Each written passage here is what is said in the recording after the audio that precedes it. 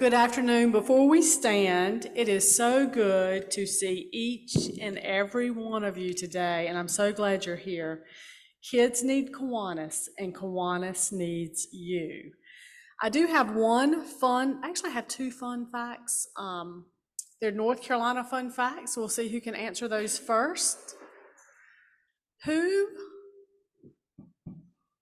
I always read the question wrong. I'm glad I'm not on Jeopardy because I would never answer it correctly. Who was the first professional that hit his first home run in Fayetteville, North Carolina in 1914? All right, well, that was quick. The second one that I have today, make sure I read the question right. What is the largest private home in the United States that has over 250. Okay, you guys are on top of it. So happy spring. I'm so happy to see you. If we will stand for our defining statement. Kiwanis is a global organization of volunteers dedicated to improving the world one child and one community at a time. I pledge allegiance to the flag of the United States of America and to the republic for which it stands, one nation, under God, indivisible, with liberty and justice for all. And Clay, if you will share us and lead us in song today. In your, Oh, Clay, I heard we had a soloist in the crowd. I think his Really? name is Tim, and we'll learn more about Tim later. Okay, Clay.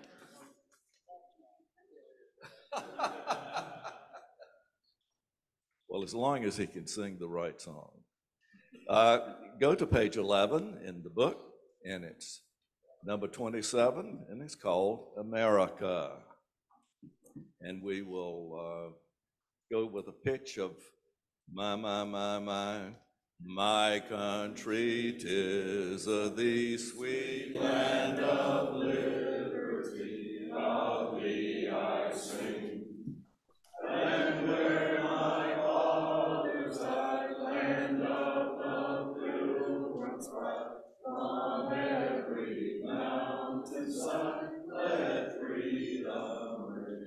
Thank you. And a big thanks for Buck for covering for me. It's good to be back. Phil, if you'll lead us in our invocation. Let's pray. Today we come to you, Lord, with mixed emotions. We welcome the rain and we welcome the sun. We have plenty of good food to thank you for, along with thanking every hand or machine that has touched it, from the field to the processing houses to the cooking kitchens to delivery. We're grateful for our fellow Kiwanians who are working to improve the lives of every child, no matter what their race, socioeconomic status, or zip code happens to be. We pray for those who aren't here because of healthcare challenges or depression due to deaths, illnesses, and or problems in the workplace. We pray that we could welcome them back soon. And yes, Lord, we pray for the reduction in the deadly gunfire which is now happening on a daily basis, either as a mass shooting of precious school children or as employees in a business situation. Too often, many of us have said there's no solution to gun violence because the criminals will always figure out a way to get guns. However, it's time to remember that our doing little or nothing is simply not working, as more and more innocents are being shot to death. Help us to bring both sides of this emotional debate to the negotiating table before more lives are lost. Thank you, Lord, for your love and your faithfulness and for your grace. Amen. Thank you, Phil. Buck, will you introduce our guest and membership development? Fantastic. Let me take membership welfare first. Uh, First of all, let me uh, introduce Dick Hygert and let him stand up. He had surgery last Thursday on his hip, and he's only bringing that in case somebody kicks him. And he's already dancing. All right. We're glad to see that. Now, uh, do you have a guest today? Okay. Stand up, Tim. Uh, Folks, this is Tim Longest. He may be your legislator if you live around Cameron Village or the Village District, or you live around Five Points, North Hills, or on out toward 540. This is your uh, representative in the North Carolina House of Representatives. He uh, grew up in Greenville. He's the son of a doctor and a teacher. Uh, He's a lawyer, so you know that's good. Um, And he, uh, let's see, the committees he's on, uh, marine resources, universities, finance, homeland security, fits right in with the invocation. Uh, Maybe there's a hope we can finally get something done about, it. but welcome, Tim Long. Thank you and welcome. We appreciate you being with us today.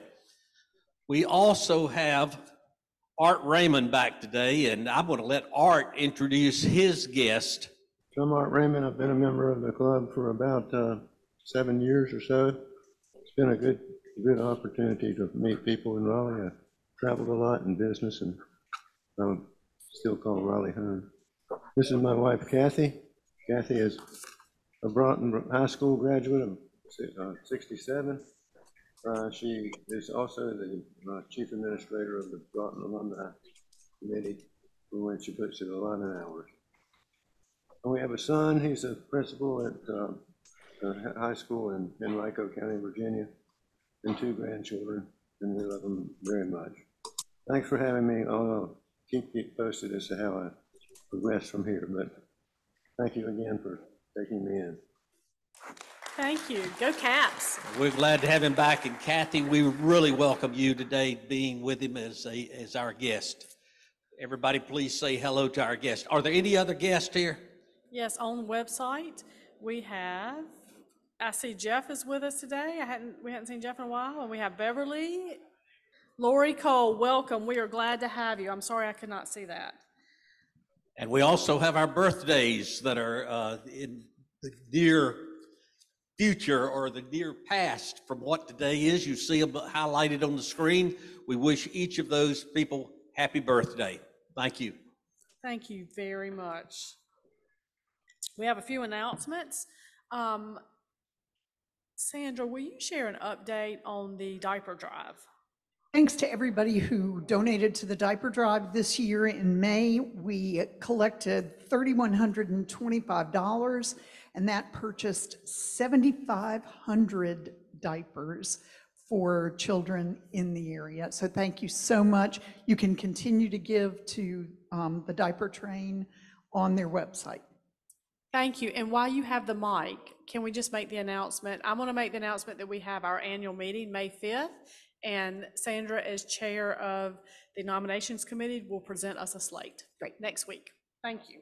The Kiwanis Board met last Tuesday, and if you're a new member and you want to get rid of that name, red part on your name tag, there's a checklist, and so you can always attend a board meeting. They're always the second Tuesday of the month at John Collar's office. We'd love to have you, as well as you greet a few, three times and you get involved in other projects. However, we, we did approve two new members, and Lucy and Hunter, are Lucy and Hunter here? Lucy and Hunter are not here. They're going through orientation this coming up Thursday night, and they'll be inducted next week. So we will welcome them next week.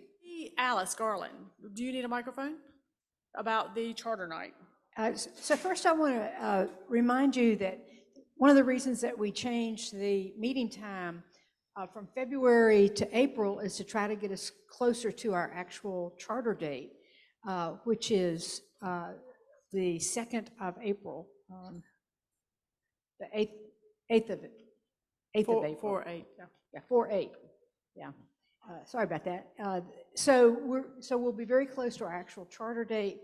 Uh, It should be a lovely evening, uh, just a lot of fun. Uh, It's a very good location. Last year, everybody raved about the food.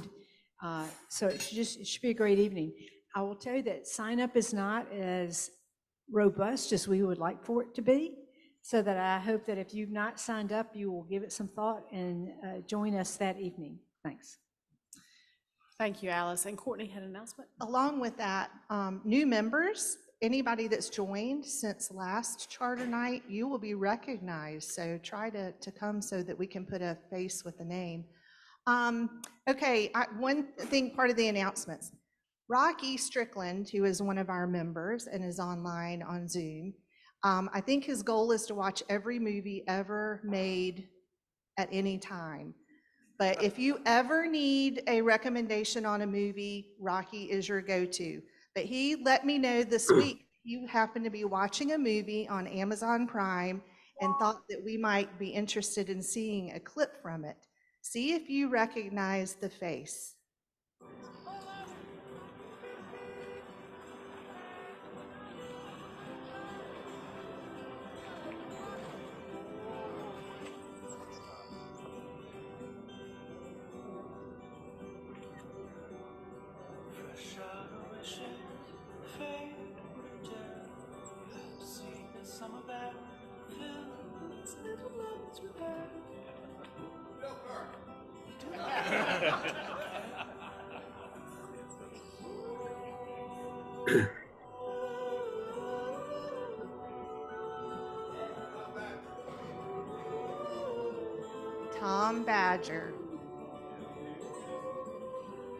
A, a longtime member of our club and moved down to Alabama. And it just so happens his, I think, son-in-law is in the movie business. And Rocky saw it and thought, oh my goodness, and confirmed it and everything. But that, that was a nice little surprise.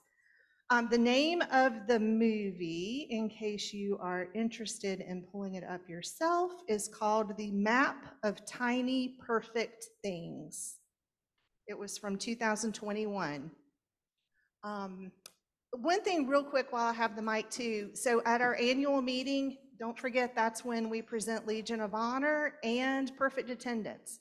And I need help because with Zoom and everything, it is just really impossible for me to be able to keep track of everybody's attendance. So if you think you have, or you know that you have, perfect attendance from, now you got to put on your thinking cap, it would be October 1st of 2021 to September 30 of 2000, wait, 22, yes.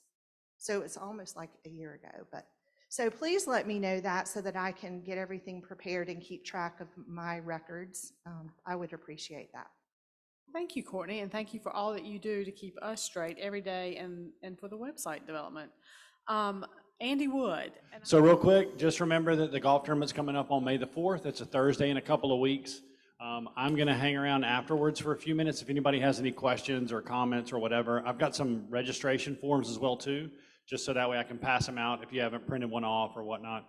Um, if you're going to sponsor, kind of the main thing is, is if you're going to sponsor a team or a whole and you're going to need a sign, if you've not done it in the past or if your logo has changed, please get with me because I need to try to get that final, that piece finalized by next Friday to give me, um, to give them enough time to print the sign. Okay, so just catch up with me if you want to play. If you want to volunteer, let me know. I'll be around afterwards. Um, that's it. Thanks. Okay, and um, there also, I actually put those golf forms on the- each of the tables too, Andy. And Travis, Travis has an announcement. Hey, good afternoon, everyone. If you'll see on your tables, we now have sign-up forms for the Miracle League event, which is on May 13th from 11 a.m. to 2 p.m. Uh, Last year, this was a great turnout, and we all had a great time. We need, uh, we've committed 15 to 20 volunteers. Uh, It's in North Raleigh. Um, You can sign up here at the meeting, or you can do it online or on the website. So uh, please sign up for that whenever you get a chance. Again, May 13th, 11 a.m. to 2 p.m. Thank you.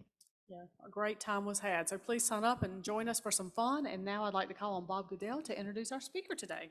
Raleigh Kiwanians, how many of you have ever heard of healing transitions? A handful. Thanks.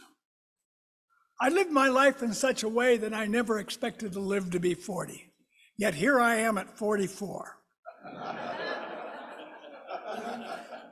I really did live my life that way, as though I never expected to live to be 40, but thank God, uh, I, um, folks like you that cared about folks like me, I, um, um, I stopped drinking uh, 51 years ago. Otherwise, I guarantee you, I wouldn't be here. I would, I wouldn't probably have been here uh, at 44. I'm really enthusiastic about healing transitions. It's an amazing, amazing place with a men, with a men's campus on Lake Wheeler Road, just uh, this side of the tracks, and uh, a women's campus uh, near Umstead Park, uh, out if you take a left at Carmax off Glenwood. It's about a quarter mile from there. And uh, so last night, uh, I, about 150 men in, in, in the men's campus and 99 on the women's campus, backed up with, with a um, just drop-in shelter, and you can come in wet or, or high of about, uh, of about 75, and a detox of about 26 on men's. So hundreds of people are served here, and that's going to go up because of a $23 million capital campaign. You'll see the ground is broken if you go out Lake Wheeler Road. That will increase that capacity to 300 men and 150 women, not including the detox and not including the drop-in shelter. It's an amazing thing that started here in, in 2000, and um, um, so 2001. I love it. I came from, I came here from there this morning. I'm there many days because I see the avalanche of miracles, and I'm one of them. And here, so today we're privileged to have Tracy William Hines, who uh, is Director of Women's Services. She's served as a planning room supervisor. She can, you know, she's she's been at this since 2014 and is alumnus of the program, uh, as are 87% of the 72 people who work there. So without further ado, I'd like to introduce Tracy Freeman Hines and her associate, Krista Billings. Let's give them a warm welcome.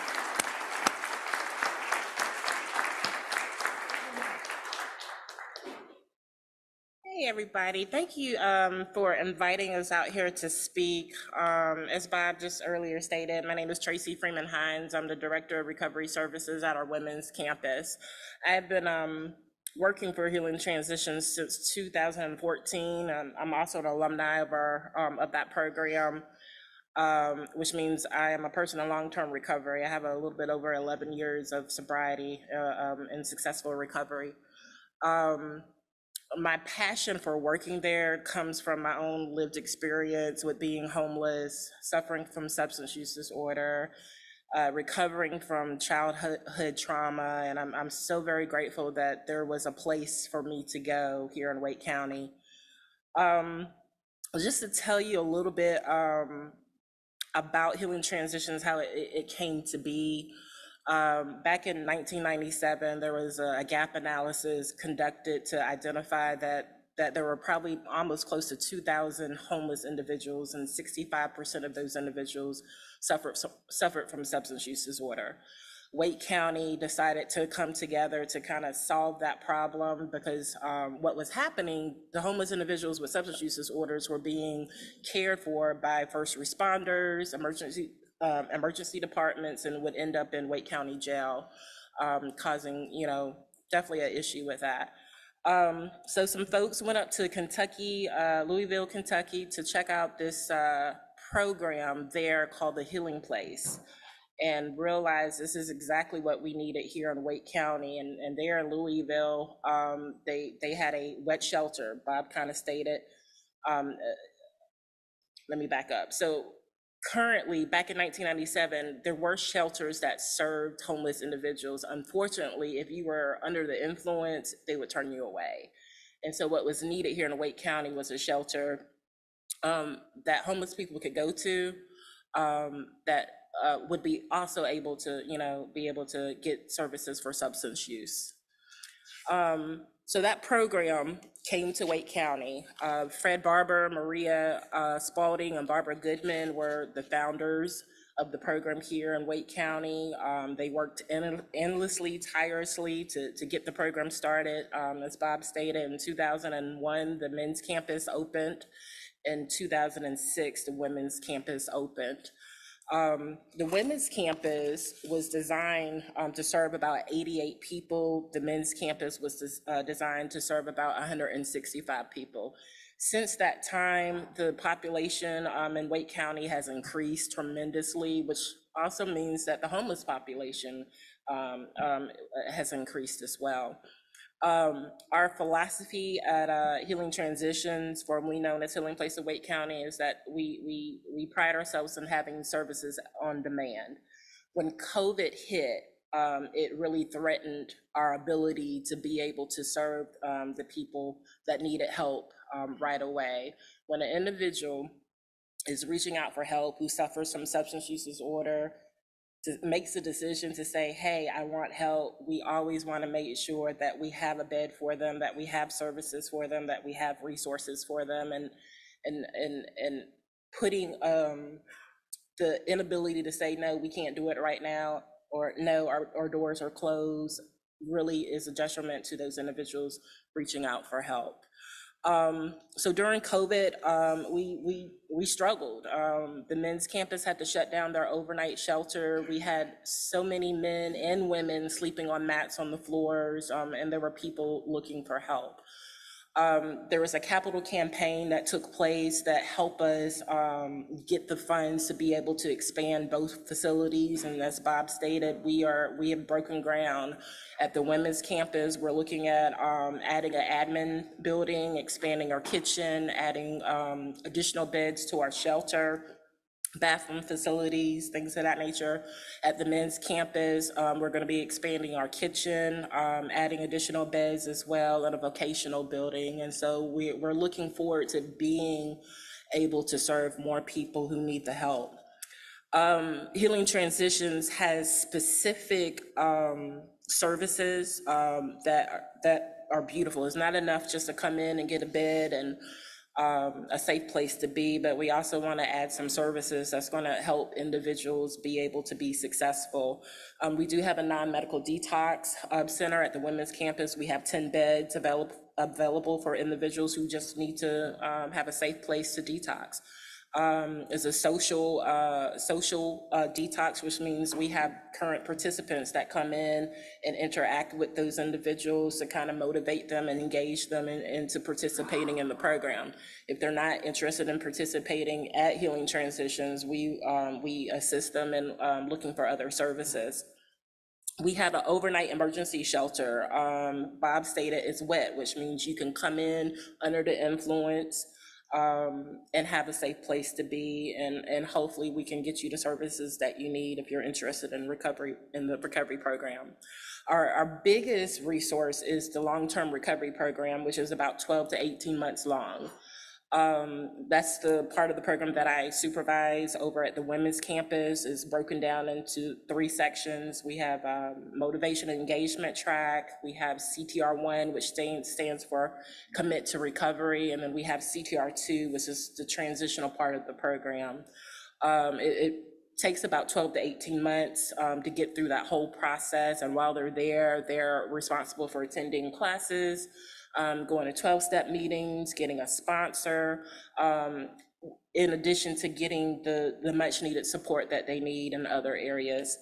Um, we have a healthcare clinic um, in case individuals are needing um, to get back on medications, getting connected to mental health services, things of that nature. Um, we have a transitional case manager. Once you get to CTR2, we work with the individual um, to connect them to jobs um, helping with resumes, um, learning how to budget. Um, we also have a child and family service um, department, um, individuals who may have um, uh, uh, interaction with uh, DSS, um, things of that nature. We, uh, we, we have a staff here that helps navigate that process in hopes that we can reunite the mother with their child or, or vice versa, family with the child, or I'm sorry, the father with the child. We also have a um, rapid responder program, and this is something that is a little bit new, but um, uh, individuals in Wake County that have um, experienced an overdose um, end up on a list, and uh, these peer support specialists are able to uh, contact those folks to see what other resources that they need, hopefully connect them to services. Um, they help with harm reduction, linkage to services, transportation to clinics to go dose, um, and also peer support. Um, in addition, we have a recovery outreach program, um, individuals that, um, reach out to, um, either participants that leave the program before finishing, or, um, individuals that actually complete the program. We want to make sure that, you know, you're doing well. What is it that we can do to assist you so you can, um, stay, uh, uh, maintain your recovery and stay engaged with us? guiding principles for healing transitions is, uh, as we, I stated earlier, um, you do not have to be, uh, sober, um, to engage in our program, um, which means we have a low threshold for engagement. There is absolutely no cost to the participant. Um, however, it does cost fifty-five dollars a day for any one individual to receive services. Um, we believe in services as demand, on demand, which means it's really important that we keep our doors open because we are a, um, a great service to the community. Um, we believe in as many times as it takes. I've been in recovery programs in the past, um, and once you go, uh, I've had the experience of, um, engaging in a program, having a return to use, and being told you can't come back. Um, and there wasn't a lot of services available um, and it's a peer-to-peer approach. Like the, the unique thing about our program is that we, the participants actually have a huge, um, responsibility in the operation of the program. Um, we believe in, uh, peer support, meaning, you know, uh, someone that's in CTR two in the last part of the program is able to reach back to someone who's in CTR one and kind of share their experience, strength, and hope to help them through the program and stay in recovery. Um, and we also believe in linkage to the recovery community. Um, so we, we really encourage 12-step, we encourage any, any pathway to recovery that's going to improve someone's quality of life. Um, so with that being said, um, you know, since 2001, the, the population of Wake County has uh, increased. Um, we talked, I just kind of shared about um, our expansion, the need. Uh, the men's design capacity was 165 in January 11, 20, and, uh, 2020. We served 241 people uh, at the men's campus. The de- uh, design capacity for the women's campus um, is 88. February 18, 2020, we were serving by, uh, 153 people. Um, and so the need is very, very great. Um, I don't want to take up too much time um, because I do, I feel like it's important to actually hear um, the experience um, of the individual that has actually been in the program. Um, and so I want to go ahead and introduce Ms. Crystal Billings. Uh, she is a current um, participant in our program, um, participating in a transitional part of the program. She's also a peer mentor uh, peer mentor is an individual um, that is doing a service commitment. Um, they are responsible for teaching the curriculum that we have um, at Healing Transitions. So I'll let her kind of share a little bit about her story and what Healing Transitions has done for her. Thank you.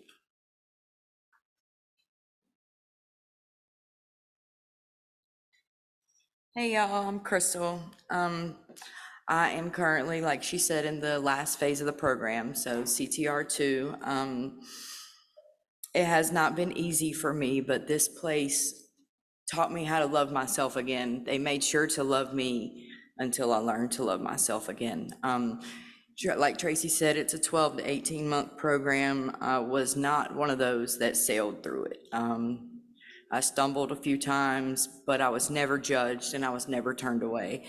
I did have a couple return to uses in the beginning, but once I got it, I got it. Um, I had a great childhood. My parents, I come from a broken home, but I had step parents on both sides. I just, I had a great childhood. I was spoiled, double the fun, double the presents, double the holidays. I have no childhood trauma to blame my addiction on. Um, both of my parents remarried the same year. They had children the same year. They also divorced the same year. And I believe that's when I started using because they had so much going on. I was just kind of left to myself, to my own devices. I was 16. Um, I had no structure pretty much. I could do what I wanted. And that's what started my long road of addiction. Um, it was mainly to fit in. I did the things that I did to fit in, numb the way that I felt. Um, it's not that I didn't feel loved or anything, I just didn't really feel like I had a belonging anywhere once my parents had split up. You know, I bounced back and forth. Um, I then got into um, an accident. My back got broken. That started my opiate addiction. And that's where everything really went downhill. I was in my early 20s.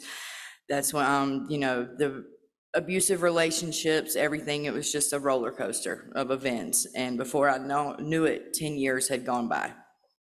15 years had gone by. So I've been in my addiction now since I was 16. I'm 40. I've been um, at Healing Transitions for right at a year. Next month makes a year. And in that one year, I have learned more about myself than I have in the other 39 years. Um, being sober, being clean. A lot of the staff that works there also went through the program, like Miss Tracy. And I remember when I first got there, it was, I would look at them or I'd hear their stories, I'd see their success, and I wanted what they had. Um, If they could do it, I could do it. Uh, The family systems coordinator, the woman she talked about, I remember when she came through the program, we worked together um, years ago at a restaurant. I seen her complete the program, I saw her get her kids back, years go down, you know, go by, and then I get to the program and she's the family services coordinator. And so, I mean, it's just crazy how it makes a full circle. Um, My rock bottom it's funny how God works, but uh, I was homeless. I was living in a tent, and I was content with that. That's how bad my addiction had me. I have um, a son who's almost four. My mom had him at the time. He didn't know anything except for his mama's gone. So, you know, this disease is impacting more than just the addict. It's it's impacting families. It's very traumatic for them too. And I didn't realize that until I got clean and sober. But um, so I got in some legal trouble. I got caught with some drugs and I went to jail. And my brother had been to Healing Transitions. He did not complete the program, but he told my family about it. They told me about it. And the judge wanted me in some kind of long-term treatment. So I suggested Healing Transitions. He was trying to send me somewhere else, but I would have had to sit there in jail for many months waiting for a bed. So I didn't know anything about this place except for my brother said, go there, you know, it'll help you. And I didn't know it was so long of a program. When I heard that, it kind of freaked me out, but it worked out in my favor. Um, so the judge was like, okay, great, you know, that's what you need to do. So I went there, mandated there. I, I mean, I could leave if I wanted to, you know, go do 90 days in jail, no big deal for someone like me who's used to that. And um, I said, well, I'm going to try something different. Well, I did it. I did what was asked of me for probation, for the temporary custody thing with my mom having my son. All of that's complete and I'm still there. Um, if I were to walk out today, it would be okay. I wouldn't be in any trouble. Everything would go good with my custody, but I want to give back what was so freely given to me. So that's why I chose to do my commitment as a peer mentor and like Tracy was saying, reach back and help that next person because I remember how broken I was when I come in this place. I was such a broken soul, y'all. Like I couldn't even look in the mirror. Um, the picture I have around my neck is what I looked like the day I walked in. Looks like two totally different people. I've seen this program change so many people's lives. It's it's pretty um, profound. I would recommend it to anyone. Um, I should be hoping to transition out, you know, by the end of the summer. I'm not rushing it, but I know that forever because of the connections I've made through this place, if I need something, they will be there to help me. They have taught me um, about my disease, the solution for my disease, and um, just, I mean, basically how to love myself again. And I never, ever, ever had the confidence that I have now. And I just, and me and my son, we are closer than we've ever been. Me and my mother, we're closer than we've ever been. And those are two relationships I didn't think would ever repair because it was hanging on by a thread. I mean, she, it had gotten to the point she wouldn't answer the phone for me. She would not let me cross the threshold of her door to see him um, because I was so bad off. Now I see him very often. Um, she trusts me to go in her house. She trusts me with her house keys. She trusts me driving her car. It's just a huge turnaround, and I, I owe it all to Healing Transitions. They helped save my life, and anything I can do to help the next sick and suffering, I will. So thank you guys for having me.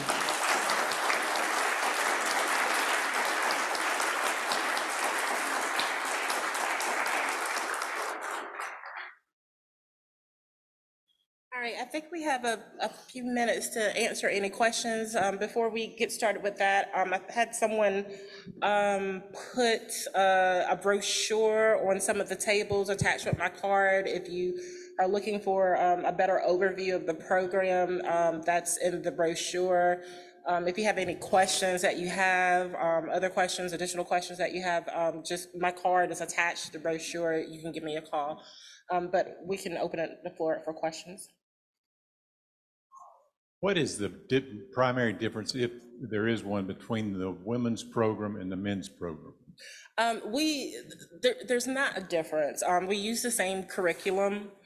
Um, the men's, uh, uh, facility has definitely more people, um, than the women's campus, but it's the same curriculum, same program, um, same social model of recovery. Um, the men's campus is just, uh, serves more, uh, individuals than the women's campus. So where do you, uh, tell me about where you get the money, how much money is it? And how many people do you need to be serving? Or- Um, so I don't know the numbers, but I can tell you, um, that we, we have fundings that come from, well, one of our biggest funder, uh, is the ABC Board. Um, we do have, uh, funding that comes from city, um, in, in state, if I'm not mistaken, but I, I don't know the specifics. Bob may be able to tell you more about that. Yes.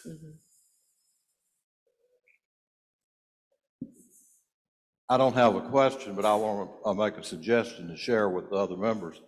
When my wife died, I didn't know what to do with her clothes.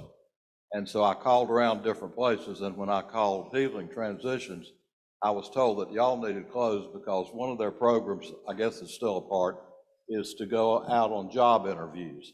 And they said a number of the women who live there, or were staying there, didn't have clothes that were appropriate to go out on job interviews. So I got more out of giving those clothes to tri- healing transitions than y'all did probably. But uh, I just would encourage any of you, if you're in a situation for men's clothes or women's clothes to give away, that, that you, this is a wonderful organization. Uh, And anybody, any group that can help Bob Goodell make something out of himself is, uh, it deserves all the help they can get. Thank you for that. Yes, if you have uh, donations for clothing, I think we also take furniture, things of that nature. Um, We, we take everything. Um, Please feel free to, to drop it off. Um, If you need somebody to pick up some stuff, um, contact us and we can schedule a pickup as well. Yes, sir. I'm a uh, lawyer. I'm don't tell that, I know, don't tell that.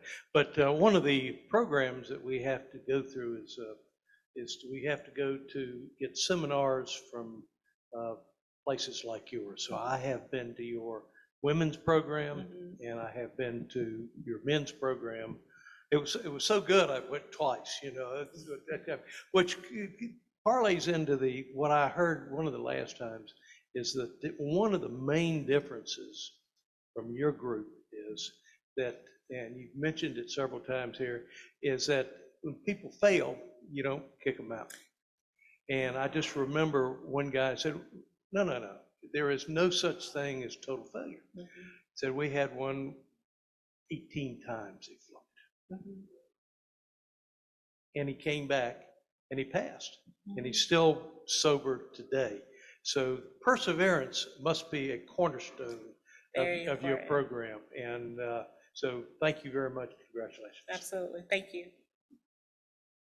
So uh, I'd like to answer that, uh, add to the question about what's the difference between the men's and the women's program? One's for men and one's for women's. And there's a big difference between the two programs. For example, uh, uh, the child custody issue.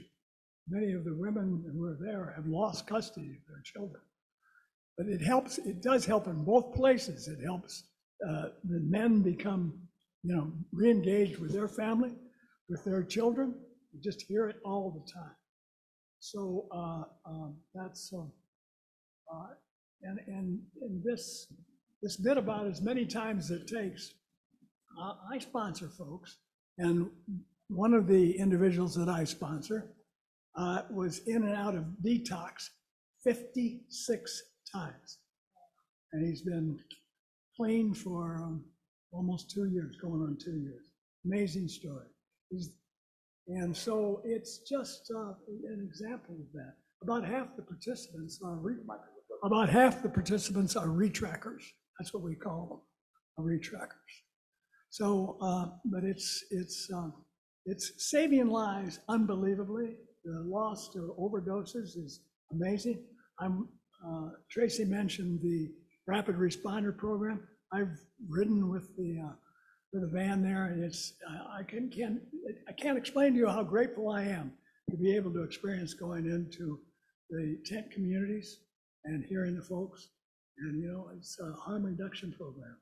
So uh, it's something else. If anybody ever wants to take a tour, give me a call. It will change your life, I guarantee it. Thank you, Bob. You have a question? There, I thank you for what you do. There are lots of other organizations in our city that do similar, like a Step Up and the Men and, and, and uh, Salvation Army and the Rescue Mission. Do, do you- do you work with these people? How, how- how is that interaction? Um, uh, we- as community partners, we try not to work in a silo. And so when individuals are needing maybe different services, or maybe healing transitions is not for them, um, or they choose a different course, you know, um, we try to work with other community partners to make sure, um, that they don't fall through the cracks. Um, our, our program is a little bit different than some of the other homeless services, being that is, is the social model of recovery, um, is a peer-to-peer, um, aspect to the program, meaning, um, participants are actually helping each other kind of recover.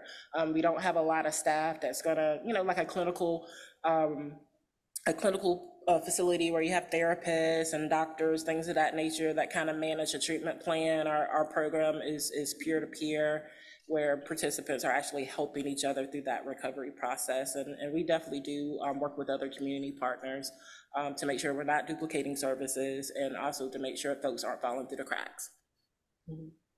Yes, sir. Thank you. Thank you both so much. Crystal, thank you for sharing your story. Good luck, and we were behind you, and thank you for giving back. And thank you so much for being with us and sharing.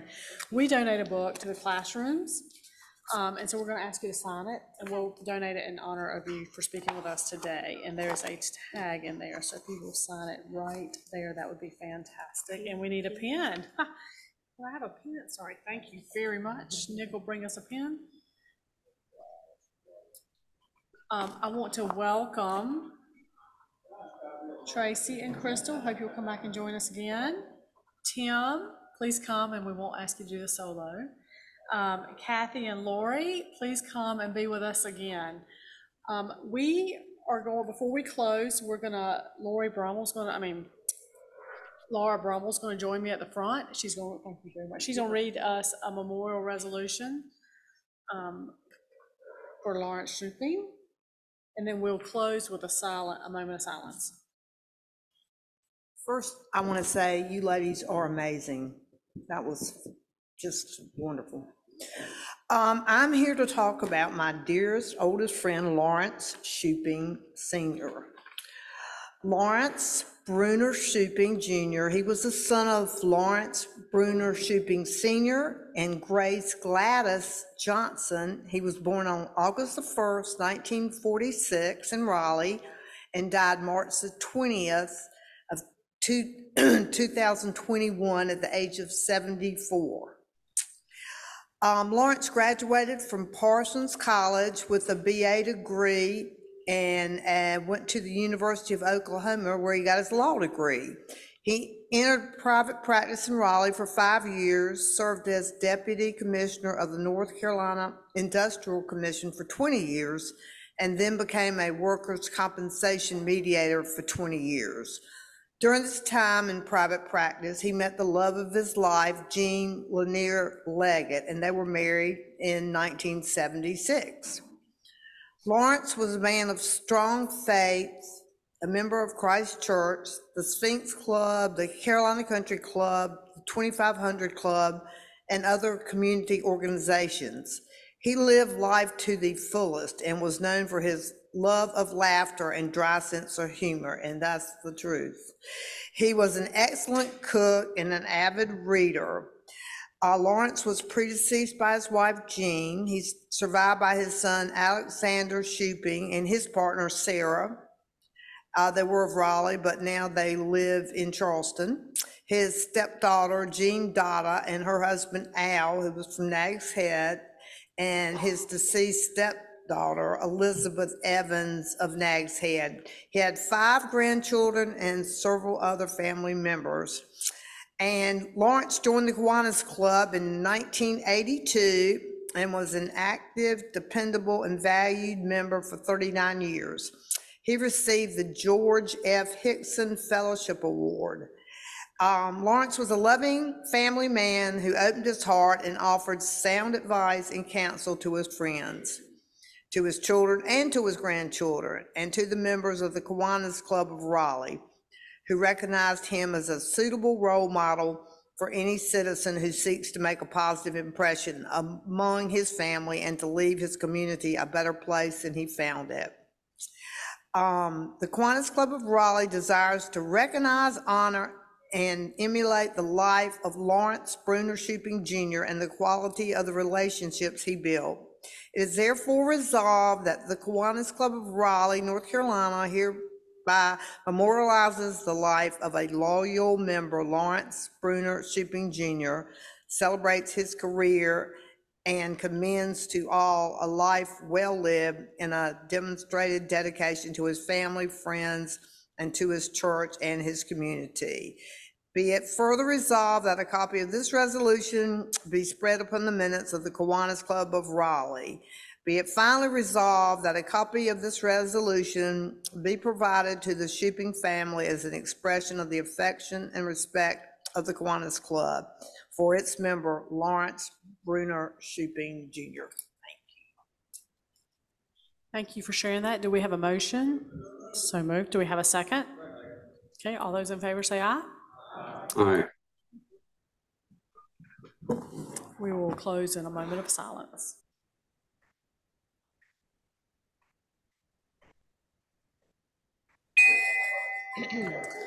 Have a great day.